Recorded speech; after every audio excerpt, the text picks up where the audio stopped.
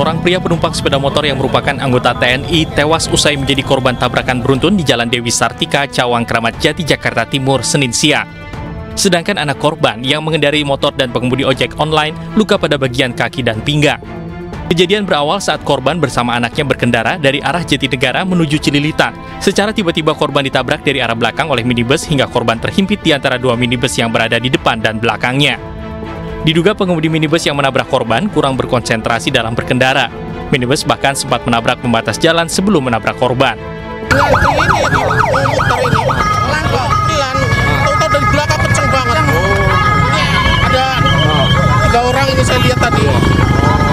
Jadi nabrak mobil bapak ya? Iya. Nabrak mobil saya nabrak mobil depan tapi mobil depan langsung kabur.